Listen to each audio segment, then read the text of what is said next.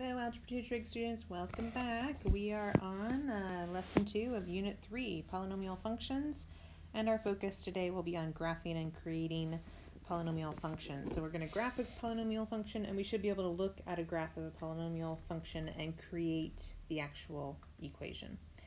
You can do your little warm-up. Maybe you want to pause and see how you did. So go ahead and pause. Okay, how'd you do? Writing in descending order, remember from you go from highest degree to lowest, so you should have restructured this to become negative 4x cubed plus 3x squared minus 2x plus 5 equals p of x. Therefore, we look at the highest power, which is 3, so it has a degree of 3. The leading coefficient is negative 4, because it's the coefficient in front of the highest power. And then our end behavior. So your end behavior is as x goes to infinity, what is p of x going to do, or what will the y value go to? Or as x goes to negative infinity, what is the y value going to approach? So I just took this leading coefficient and the first term, and I plug in a negative infinity. If I plug in a really huge negative number and I cube it, well, a negative times a negative times a negative is negative, and I multiply that by a negative 4, that's going to turn into a huge positive number because four negatives multiplied together become a positive. Here, if I have a positive huge number and I cube it, it's going to be a positive huge number, even bigger than what it started with. And then I'm going to multiply it by a negative 4, so it's going to turn into a negative huge number. So, oops, I reversed those, sorry. As x goes to positive infinity, that's the green one, it should go toward negative infinity. And as x goes toward negative infinity, it's going to go toward positive infinity. Sorry about that, I swapped them. All right, so now we're going to talk about some graphs. So the next thing we do is the multiplicity of a root in a polynomial function. So what do we mean when we say the word multiplicity of a root? So it says every root has a multiplicity, which refers to the number of times that its associated factor appears in the polynomial. For example, if we have a function f of x and we take x minus 5 and we square it, and multiply that by x plus 3, then x equals 5 is going to be a double root because it has a multiplicity of 2. So it has a multiplicity of 2. It appears twice. Therefore, we now call 5 a double root. And you'll just see us do stuff like dr. And then negative 3 is to the first power, so that doesn't have more than one value of negative 3, so that's just a single root, right? So we have a double root. It has a multiplicity of 2 because that factor is raised to the second power. And then we have a single root. It's just a multiplicity of 1. Now, we have two very important things you must remember, especially when we're thinking about things graphically here, when we're thinking about the polynomial function graphically. The first one is if the root has an odd multiplicity, so it's to the first power or the third power or the fifth power, that's an odd multiplicity, then it will cross the x-axis at that root. So x equals negative 3 had an odd multiplicity, it's raised to the first power, so your graph would cross the x-axis at negative 3, right? So it's going to cross here. If it has an even multiplicity, the graph will bounce off. It will not cross the x-axis. Instead, it bounces away. So negative, or sorry, positive 5 has a even multiplicity, and so it's going to bounce away there. So we'll talk more specifically about why I know the graph looks like this, but it's going to be an 2 something squared to the first power. It's going to be a cubic function.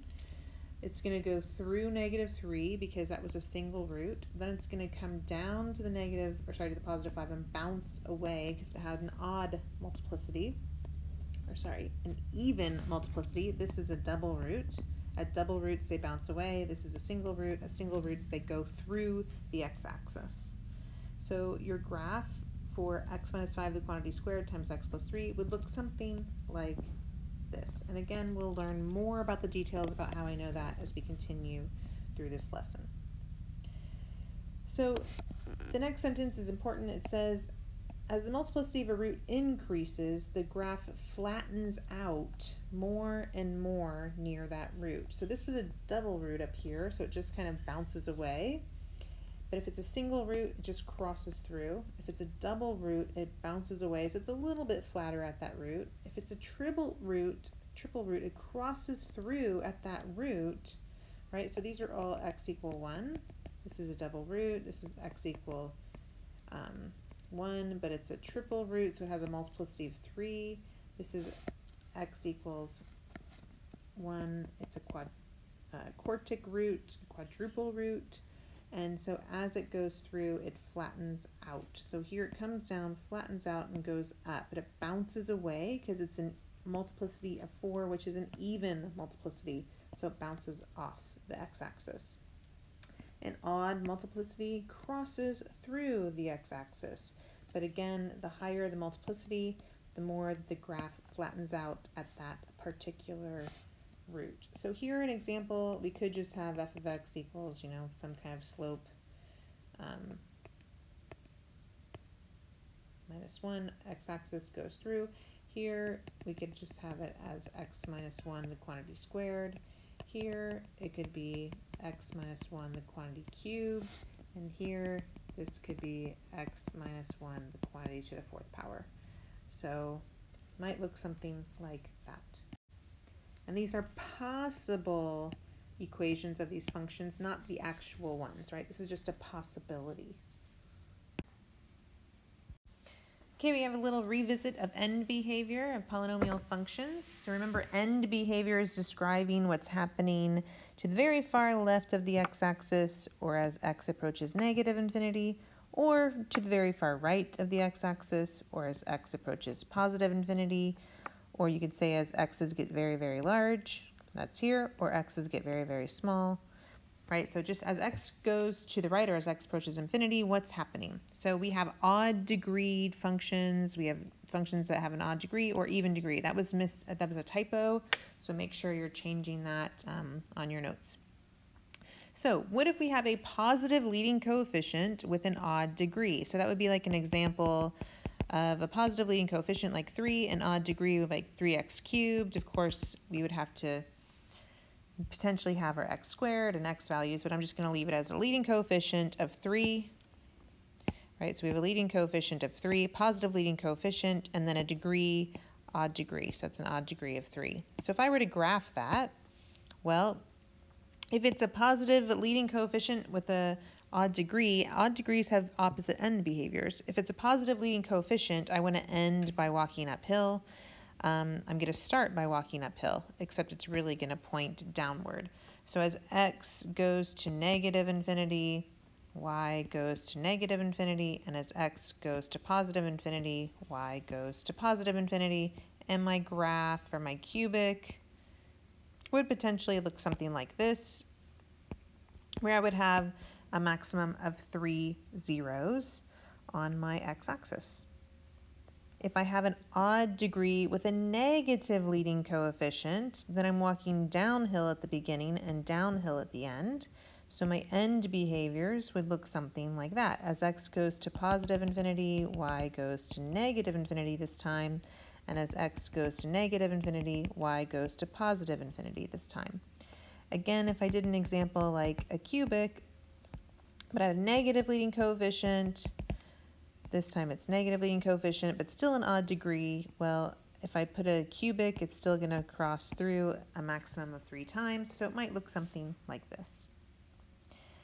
An even degree function has end behaviors that end in the same direction. They either both go up or both go down. So if it's a positive leading coefficient, think positive, positive. Well, that's the up, up. If it's a negative leading coefficient, it's down, down. Now, whatever your even degree is, if your even degree was, you know, x to the fourth power, if I had a positive leading coefficient, of course we could keep adding on to that, but that means it would cross through my x-axis a minimum or a maximum of four times. And then, of course, my end behaviors are both going to positive infinity. If I have a negative leading coefficient, well, negative is down, right? So my end behaviors are negative, going to negative infinities. As x goes to infinity or negative infinity, y's go to negative infinity. Then if I did a negative leading coefficient, positive, or sorry, an even exponent, then it may look something like this with, if it's to the fourth power, we could potentially have four zeros. So there's your little revisit of end behavior. Now it's your turn to just sketch and do some of these graphs on your own, see how you do. Um, I wouldn't really worry about the leading coefficient. We're just trying to figure out what graphs would look like. So let me take you through a few and then you can kind of experiment. Um, we're just doing quick sketches to try to get our heads around what these different polynomial functions, what options we could have. So if you have a linear function, you could draw so many different pictures, but there's a one real root. So here is my one real root. It's only going to cross the x-axis at one place. That's the maximum it can cross the x-axis. Right, so this is the maximum number of times it can cross the x-axis. For a quadratic, the maximum number of times you can cross the x-axis is 2. Right? We can have two single real roots. However, it doesn't have to cross it twice. It could bounce away. So it could just hit it and be a double root. Right? So it's bouncing away. Or we could have imaginary roots. It never crosses the x-axis because the vertex is above the x-axis and it opens upward. Or you could have a vertex below the x-axis and opens downward. Right? So all of these parabolas could be opening up or they could be opening down. It doesn't really matter. I'm trying to sketch what the description is here. So this one has two single roots here and here. This has one real double root, and then this is an example of two imaginary roots. So a cubic, if we want it to have three single roots, it would be one, two, three. So one single root, one single root, one single root. They all went through the x-axis. Okay, how about the next one? We're going to have a single root and then a double root. So I went through the x-axis and then I bounced off of the x-axis, or I hit the x-axis and bounce away. I just bounce off. Okay, what about the third example? We want one triple root. Remember if you flip back to the beginning of the notes, the higher the multiplicity, so this has a multiplicity of three because it's a triple root, the flatter it gets. So it's just going to come through, flatten out. So wherever that value is, where it's a triple root at that point, because it's flattening out, but it's never really changing from increasing to decreasing. It's just going up, up, up, up, up. It's just flattening out at the root. All right, how about this next one? One real, two imaginary. So it only crosses the x-axis one time, but here is where your imaginary roots are going to be, somewhere in there. All right, I want you to continue this next page on your own. So try, now that I've done the um, first couple of examples, I want you to pause here and just try them on your own. See how you do. There's infinite amount of pictures you could have, but you just want to see if you have the four single roots, or two single, one double, two double. So you're just trying to understand what is a single root, what is a double root, what are imaginary roots, what are real roots, what's a quadruple root. So just pause and try that on your own. All right, have a look. You should have an idea. Here are some potential answers, right? We have four single roots, crosses the axis four times. Two single, one double, crosses through, bounces away, bounces off, bounces off because it's two double. One quadruple just means it's super flat at that one singular root. Here we have two imaginary and two single. So here's a single, here's a single, and then my imaginaries are up here somewhere. I have one um, real double and two imaginary. So here's my double because it bounces away, and then you could put it, of course, obviously you know you could have the opposite um, end behaviors. It could be going up, up, or down, down. Doesn't really matter. Four imaginary roots means it's never going to cross the x-axis we could have the W or the M shape, or it could just be one big wide looking something like this, but never crossing or touching the x-axis. So nice, ask your teacher questions if you're confused, um, but this is just try to get your head around single roots, double roots, imaginary roots, real roots, quadruple roots, etc. All right, so let's jump into some examples now. Now we're going to practice looking at an equation and sketching the graph. Um, so let's look at example one. It says sketch the graph of g of x, given that it equals 1 half times the quantity of x plus 4 times x plus 1 times x minus 2. You have to do this. Label the x and y intercepts. So first of all, hopefully you're looking at this in intercept form and you're saying, great, my x-intercepts are negative 4, negative 1, and 2. So we're sketching, so I just do a quick approximation on the x-axis. There are my zeros at negative 4, negative 1, and 2. The next thing you want to do is find the y-intercept. So the y-intercept is when x is 0. So I need to plug in 0 for x. So what will the y-intercept be if I plug in 0 for x? So 0 plus 4 is 4, so you may not need to show all this work. You may just be doing this in your head, right? 1 times 4 times negative 2. Well, 4 times 1 times negative 2 is negative 8. 1 half times negative 8 is negative 4. So my y-intercept is negative 4. Okay. So we kind of have an idea of what it needs to do, but really I, what I don't know and what you need to make sure you're checking on is the end behavior, right? What's happening as x goes to positive infinity and what is happening as x goes to negative infinity. So what do I have here? I have x, if I were going to expand this, I would have x times x times x, and then I have my leading coefficient of 1 half. So my first term with the highest degree is going to be 1 half x cubed. This is an odd function with a leading coefficient that is positive. So if you go back and you look, an odd function and the leading coefficient is positive, well, I want to see, think to myself, okay, what happens if I put in a positive number for x? Then I'm going to cube it and multiply by a positive, so it's going to end being positive my y value will be positive. If I put a negative value in for x, a negative cubed is negative, and negative times 1 half is negative. So it's going to end, as x goes to negative infinity, my y value is going down to negative infinity. So now I just have to put it all together. These are all three single roots, right? They have a multiplicity of 1. So I have to go through the x-axis through the x-axis, hit my y-intercept through the x-axis, and there is a sketch of my graph. It's not perfect. You know, we have no idea how high up this value is going to go right here, and that's okay. That's why we're sketching it. I didn't ask for this value. I don't have a grid. I'm not making you write a specific value there, right? It's just a sketch. So what do we have to have on our sketch? We have to have our x-intercepts of negative 4, negative 1, and 2, and we need to have our y-intercept of negative 4.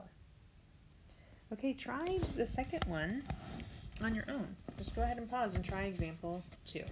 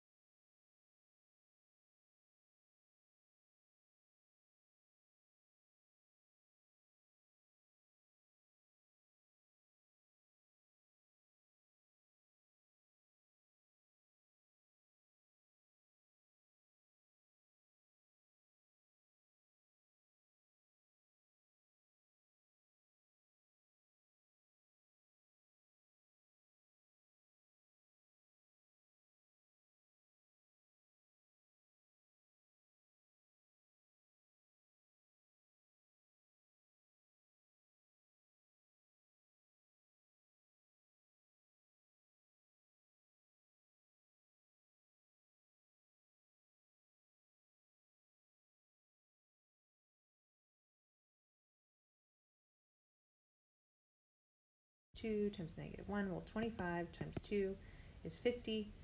50 times negative 1 is negative 50. So I divide each side by negative 50. So A is actually equal to 5. So my last step is to actually identify the equation or the function for that graph.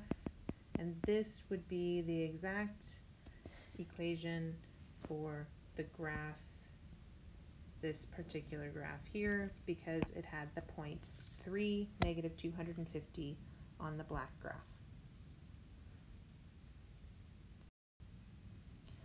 All right, try this one. If you want to pause and try it on your own, please do, or I'll just take you through it. But give it a go on your own if you can first, um, but you don't have to. Okay, so what do I see with this function? I see only two zeros. I see a zero at negative 4, and I have see a zero at 1. But notice that this negative 4, it's flattening out. And so when it's flattening out but actually going through the graph, it needs to be a bigger multiplicity than just 1. So that has a multiplicity of 3, or in other words, at negative 4, that's a triple root. So I'm going to build my function I don't know what the leading coefficient or the A value is, what that dilation is, but I'm always going to write these equations in intercept form. So I have a 0 at negative 4, so I'm going to change that to positive 4.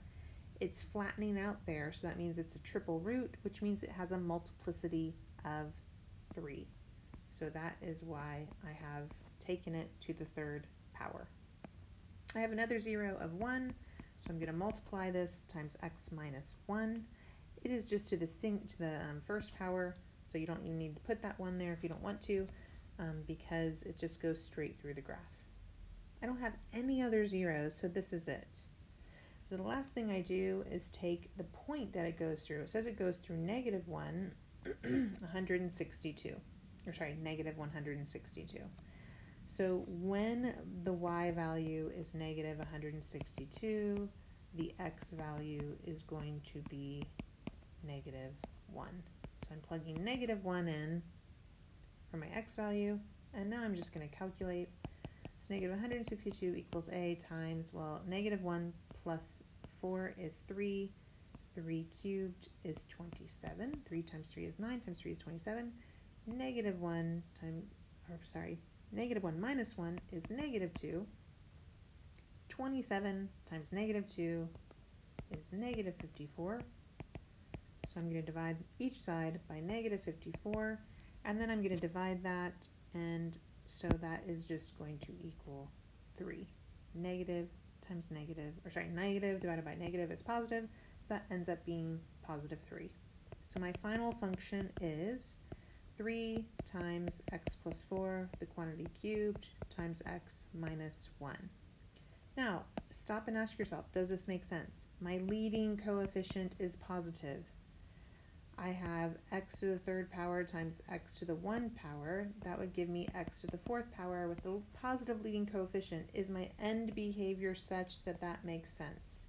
Yes. It's an even degree, which means your end behaviors are the same. They're both up or both down and my positive leading coefficient means that they're both going to be up. So yes, this makes sense. Um, that is my final answer. So now this one, you should definitely pause and try this on your own. I'm going to do the same thing. Um, and apologies, this says leave your final answer in standard form. We're never going to have you do that. So always leave your answer in intercept form. I'm not a fan of standard form. Do not worry about that. Just leave it in intercept form. We will never have you expand. Okay, go for it. Okay, last example, if you left in intercept form, did you get, you could either put f of x equals negative 1 times x plus 4 times x plus 3 times x minus 1, or you don't really need to actually put the 1, you can just put a negative sign in front of those three parentheses. So how did I do it? I first got the three single roots, I listed them, then I used this information. When I plugged in negative 1 for x, I would get a positive 12 for y. And so I did all, sorry, sorry, did all the math to figure out that uh, a is equal to negative 1. So that's it. practice. There's lots of homework questions to practice, lots of practice in there. You might want to do just the evens or the odds um, to see if you're understanding it, and then save the rest for another day, like the day before the quiz or some other time to review. All right, ask your teacher if you have questions. Bye. To figure out